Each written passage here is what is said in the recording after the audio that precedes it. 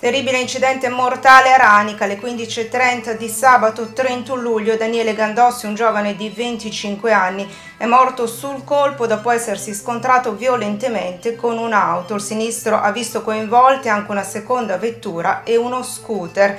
Lo schianto è venuto sulla vecchia provinciale per la Valle Seriana in via Marconi.